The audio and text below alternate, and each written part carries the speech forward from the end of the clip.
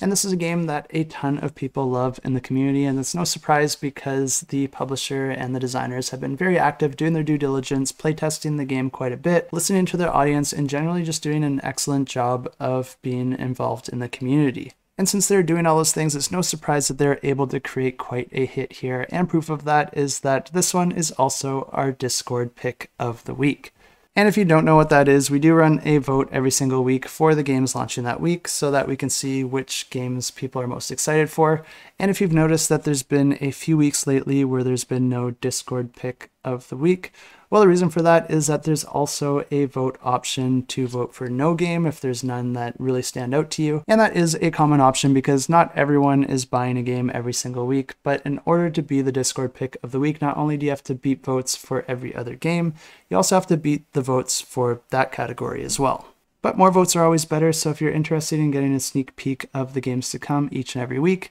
and also getting involved with the voting there, I do have a link to our Discord down below, and it's just a great place where you can hang out and also keep track of any new games as we discover them, rather than waiting until I post these videos. But back to the task at hand here, the Isofarian Guard is a narrative campaign game for two players where each player is going to be controlling their own character, or you can play it solo by playing two of the characters yourself. And each character is going to have their own set of stats and you can upgrade them with different gear and items as well as weapons. And each of them are also going to have unique ability cards but pretty much every single aspect of the character can be upgraded. And even some of their gear can be combined together or combined with other resources that you might find in order to augment those as well. All of this will be tracked on your own personal player board, but there's also a separate skill tree that players will be able to navigate throughout the game in order to unlock other benefits and resources as the game goes on. And this is a narrative campaign game that's going to be providing a story as players play throughout the game, offering branching storylines and different opportunities for players to discover more about their characters,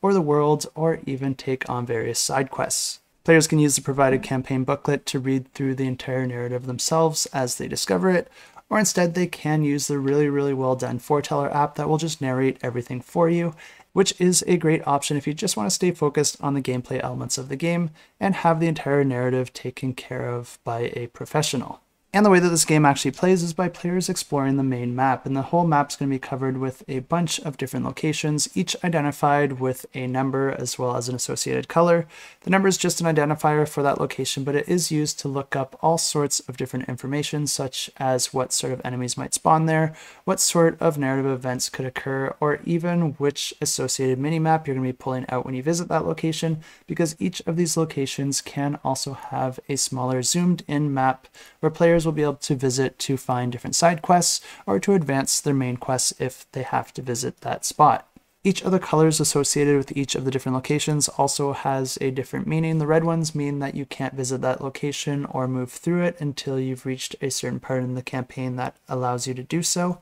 while other colors might have no effect at all or require you to draw a token from the event bag. There's a few different tokens that you can draw from the event bag, with each of them either causing you to fight a different difficulty of enemy, or they might just allow you to avoid the enemy completely or to choose an enemy that you want to battle. It's not always bad to fight an enemy because you will earn different bonuses and resources if you are able to defeat them. You could use that to upgrade your character or complete different objectives that you might be trying to complete for different side quests or even the main quest. If you decide to fight an enemy or if you just get forced to fight an enemy, you're going to be grabbing that enemy's card and putting it on the combat board along with their associated combat deck. Players will then just alternate turns with the enemy, and whenever it's the enemy's turn, you're just going to be drawing a card from their combat deck and then resolving whatever effects it indicates. Each enemy in this game is very unique with their own set of stats, their own combat deck, as well as their own pool of energy that they're going to be drawing from that's going to limit the attacks that they can perform. As players play the game, they will get more familiar with the different enemies as well as their attack style because each of the enemies will have different abilities that they'll be able to perform and different effects or ways to damage the players. But when it is the player's turn during a combat, they do always have the option to retreat, and if they take that option, they're not going to get any rewards for the battle, and the enemy is also going to get one more turn. But if they choose to stay and fight, this is where all your players' stats and gear and effects are all going to come into play because this is a bag building game. You're going to be adding tokens to a bag depending on your character's stats, as well as any additional tokens granted from your gear or items or any special effects that might be affecting you during the battle. You'll then be drawing a number of tokens from the bag and then spending those along with your energy supply to activate the various abilities and effects and cards that you might have available to you. Each of these does have different requirements, which means that you'll have to draw certain tokens in order to activate them, but usually you will have a few different options on your turn, and the tokens can be used in a variety of ways. And the combat continues like this, alternating back and forth, and if you're able to defeat the enemy, then you will be rewarded for that, which could come in the form of additional gear, or resources, or opportunities to level up your character. In addition to the main board, players also have access to their fort board, where they'll be able to visit and acquire unique resources that are only found on that specific board,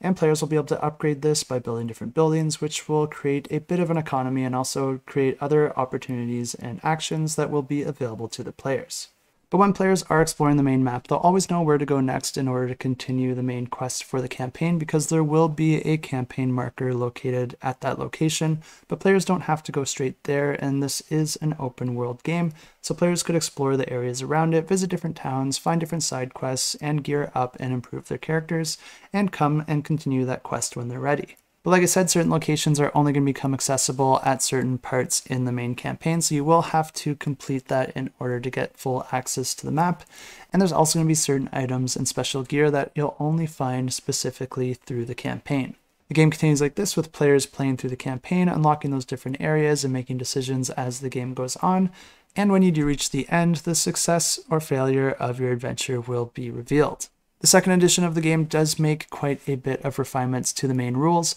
also adding and streamlining a few mechanisms. The contents of the box and the books and the resources are also going to be slightly shifted around in order to present that information a little bit easier. And if you do already own the game, you don't necessarily need all of this, but there will be an upgrade pack as well. And it looks like there will be some additional content revealed as the campaign develops, so even if you do already own the game, you might want to back this one just to grab that additional content. As always, if you're interested in this one, I do have a link to the campaign in the description below, and of course you can follow along to get notified.